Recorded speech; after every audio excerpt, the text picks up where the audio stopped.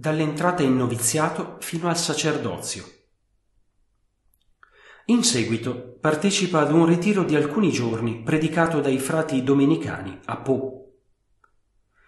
Qui la Tast incontra per la seconda volta i frati predicatori e in lui rinasce il desiderio di consacrarsi a Dio. Dopo aver incontrato anche altre realtà religiose ed essersi confrontato con le regole di altri, decide di entrare nell'ordine dei predicatori.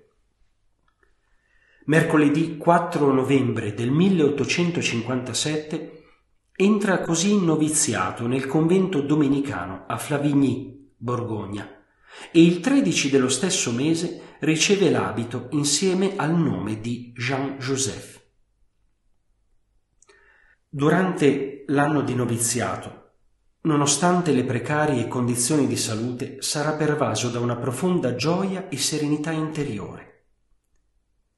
Non capisco come sia possibile che io sia così calmo, così tranquillo, così felice. Speravo certamente di esserlo, ma non senza dolore, senza lotta, senza combattimento. Il buon Dio, lo vedo bene, governa le mie forze, riserva le forze al momento in cui sarò più forte. Dopo l'anno di noviziato, le scarse condizioni di salute lo costringono a trasferirsi presso il convento di Saint-Romain, in Tolosa, per poter favorire della mitezza del clima. Qui inizierà a studiare la teologia, dove si accentuerà il suo interesse per la Sacra Scrittura e la Summa Theologiae di San Tommaso d'Aquino. E il 10 maggio del 1859 emetterà professione religiosa.